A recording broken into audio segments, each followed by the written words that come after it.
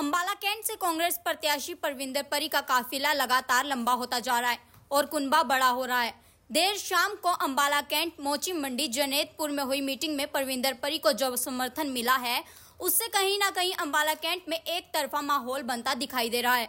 Ambala cantt से कांग्रेस प्रत्याशी परविंदर परी ने कहा कि हमारी लड़ाई भय व डर के खिलाफ है और ये लड़ाई हमें मिलकर लड़नी होगी। उन्होंने कहा कि हमारी लड़ाई भाजपा के, उस नेता के खिलाफ है जो हमारी माता बहनों के खिलाफ है, जो किसानों के खिलाफ है, जो कर्मचारियों के खिलाफ है, जो व्यापारियों के खिलाफ है। परविंदर ने कहा कि सीटी बजाते हुए नकली कांग्रेस वाले आपके बीच आएँगे, उनसे बचना होगा।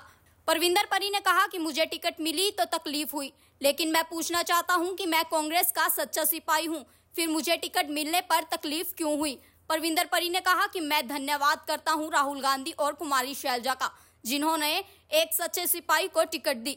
परिवारवाद के खिलाफ टिकट दी। परी ने पार्टी को ही माँ समझा है। परी ने कार्यकर्ता को ही बाप समझा है। परी ने कार्यकर्ता को सब कुछ समझा है। जो कुछ है, परी है, जो कुछ है, सिर्फ़ आपकी बदौलत है, आप कार्यकर्ताओं की बदौलत है। ये परी टंके की चोट पे कह सकता है। मैंने वो समय भी देखा, जब लोग कांग्रेस पार्टी को छोड़ छोड़ के जा रहे थे। डर का माहौल था, भय का माहौल था, पूरे हिंदुस्तान में डर का माहौल था। बड़े बड़े लीडर भी डर रहे थे ईडी से सीबीआई से। हमारी लड़ाई घमंड के खिलाफ है। हमारी लड़ाई डर के खिलाफ है। हमारी लड़ाई युवाओं के खिलाफ है। हमारी बीजेपी के उस बीजेपी के उस नेता के खिलाफ है, जो आपके खिलाफ है, युवाओं के खिलाफ है। बीजेपी के उस नेता के खिलाफ है, जो हमारी माताओं बहनों के खिलाफ है। बीजेपी के उस नेता के खिलाफ है जो मजदूरों के खिलाफ है, बीजेपी के उस नेता के खिलाफ है, जो किसानों के खिलाफ है, बीजेपी के उस नेता के खिलाफ है, जो कर्मचारियों के खिलाफ है, बीजेपी के उस नेता के खिलाफ है, जो व्यापारियों के खिलाफ है। हमारी लड़ाई उनके साथ है। अब हमारी लड़ाई एक और शुरू होगी।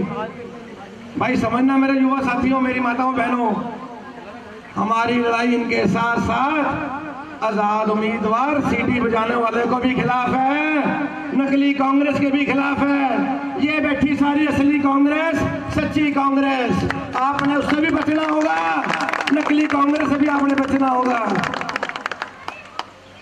भाई परी को टिकट मिली तो बहुतों को तकलीफ़ हुई।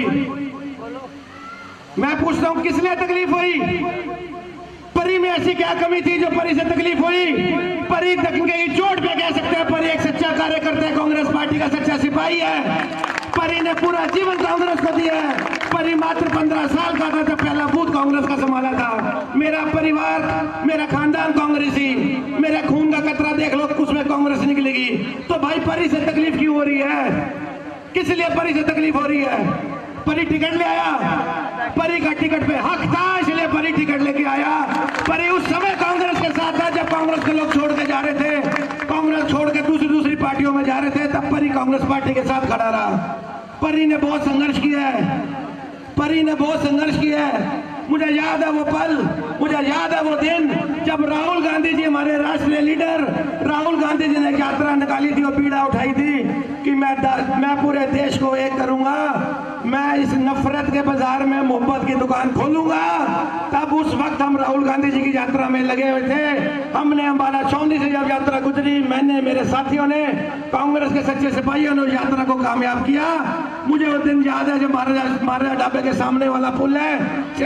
चार दिन मैं अपने साथियों के साथ वहाँ पड़ा रहा। बुखार भी था, डोलो आती है, डोलो भी खाई, बुखार की गोली भी खाई और यात्रा को कामयाब किया। आज उसका ये रिज़ल्ट है, आज उसका ये रिज़ल्ट है।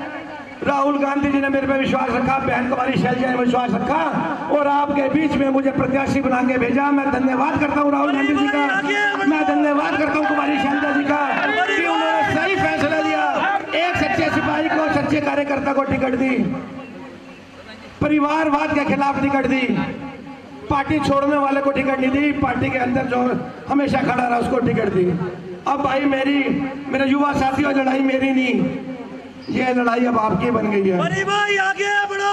ये लड़ाई आप मेरे साथ लड़ोगे। ये लड़ाई कांग्रेस पार्टी के समझ सभी सभी सीनियर गण यहाँ बैठे हैं लड़ाई सबकी है। ये लड़ाई मेरी नहीं। ये लड़ाई अब सब आपकी है।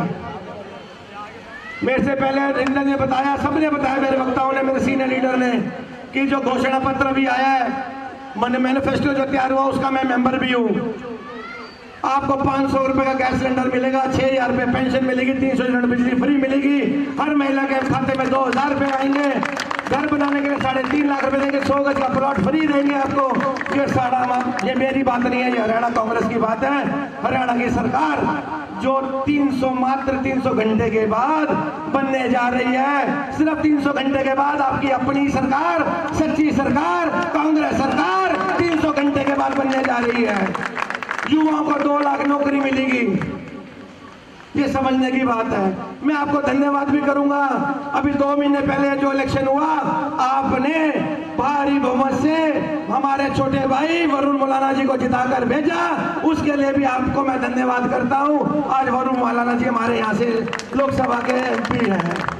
आपको धन्यवाद करूँगा मैं। आपने भारू भारी बहुमत से जिताकर भेजा। आज हमारी हरियाणा में पाँच सीटें हैं। कितनी सीटें हैं? पाँच। और पिछली बार 2019 में इन्होंने झूठा नारा दिया था, झूठी बात गई थी। हम भी शायद उसके उसके चक्कर में फंस गए थे कहीं ना कहीं। इन्होंने बात बोली थी पचहत्तर पार याद होगा आपको? पिछली बारी की बात कर रहा हूँ 2019 की, इन्होंने कहा था पचहत्तर पार हम भी शायद सोचने लगे, भाई, भ्रम में आगे पचहत्तर पार लेकिन कितने में सिमट गए? चालीस पे अब तो कुछ बोल ही नहीं रहे अब तो कुछ बोल ही नहीं रहे बीजेपी वाले। अभी दो दिन पहले मेरा प्रेस मेरी प्रेस के साथियों ने मेरा इंटरव्यू लिया। भाई, गुस्ताखी माफ़, मैं प्रेस वालों को भी बहुत नए दिल से धन्यवाद करूँगा। जो काफ़ी समय से यहाँ खड़े हैं तय दिल से मैं आपका शुक्रगुजारी हूँ, शुक्रगुजार करता हूँ। धन्यवादी हूँ मेरे प्रेस के साथी भी खड़े हैं। किसी ने मेरा दो दिन पहले इंटरव्यू लिया मेरे पूछा कि भाई, कांग्रेस की कितनी सीटें आ रही हैं? तो मैंने, मेरे मुँह से निकल गई कि सत्तर, पचहत्तर सीटें आ रही हैं। और आज मेरा इंटरव्यू लिया किसी ने।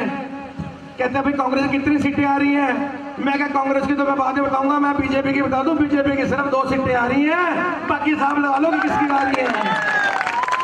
कांग्रेस पार्टी बाकी आप किसकी कितनी सीटें आ रही हैं। अब की बारी। की बारी। तो मेरी माताओं बहनों अब कांग्रेस की देख लो कि अस्सी पार सीटें आ रही हैं। आपने हरियाणा में तो कांग्रेस सरकार बनानी बनानी है। आपने अपने छोटे भाई को भी विधानसभा में भेजना है एमएलए बना कर भेजना है। मैं एमएलए बनूं। चाहे आपके आशीर्वाद से मंत्री बनूं, मैं वादा करता हूँ, आप एक बार एमएलए बना के भेजो, आपका भाई मंत्री बन के ज़रूर आपके बीच में आएगा, ये वादा करके जा रहा आपसे।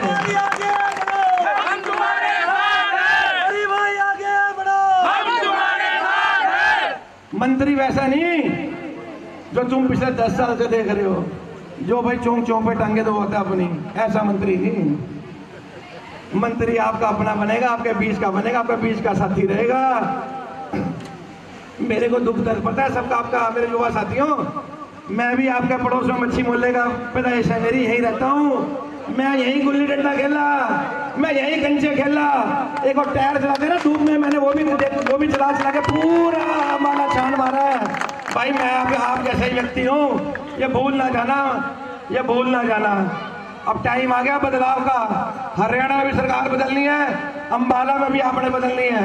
अम्बाला को तो मुझे लग रहा है कि भाई आप बदलने के मूड में बन चुके हो। एक तरफा फैसला आएगा, जो भाई हल्के में ले रहे थे पता लग जाएगा। ले रहे थे हल्के में? अब आपके मैं, ये आपके दम पे बोल रहा हूँ, मेरी याद रखना बातें। मेरी माता है बहने, ये याद रखना आपने। आपने अपने पड़ोसी को जितवा के भेजना, अपने बेटे को जिता के भेजना अपने भाई को जिता के भेजना, मेरी माताएँ, बहने, मेरी भाभी यहाँ बैठी, मेरे को सुन रही हैं। आपने घर नहीं बैठना, परी बनकर लड़ाई लड़नी है। लड़ोगे? पक्की बात, लड़ोगे ना? भाई फिर एक मेरे साथ समय बहुत हो गया, एक छोटा सा नारा मेरे साथ लगाओगे आप? मैंने एक दो जगह पहले भी लगाया वहाँ माताएँ, बहनें बैठी हैं, मेरे युवा साथी बैठी हैं। मैं बोलूँगा हाँ मैं हूँ। आपने बोलना है कांग्रेस। दोनों हाथ खड़ा करके माताओं बहनों आपका भी दम देखना है मेरे युवा साथियों को भी दम देखना है मेरी भाभी आपका भी दम देखना है हाँ मैं हूँ दोनों हाथ खड़ा कर हाँ मैं हूँ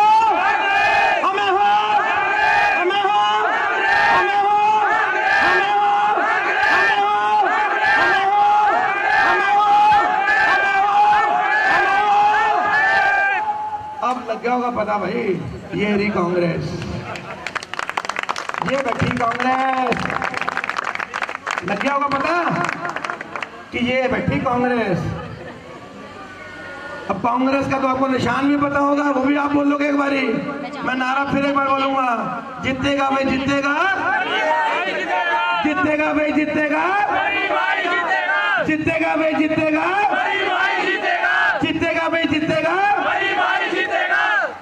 इसी विश्वास के साथ, इसी आश के साथ, इसी प्यार, प्रेम के साथ मैं सभी का माताओं, बहनों का, युवा साथियों का, बड़े बुज़ुर्गों का, सभी अपने सीनियर लीडरान का प्रेस के मेरे बंधुओं का, प्यारे बच्चों का तय दिल से धन्यवाद करता हूँ, शुक्रगुजार हूँ एहसान बंद भी रहूँगा। आपके बीच में ही बैठ के काम करूँगा, ये मैंने पहले भी बोला था, अब भी बोल के जा रहा हूँ। आप सभी का बहुत बहुत दिल की गहराइयों से धन्यवाद। जय हिंद, जय भारत, जय कांग्रेस, जय भीम।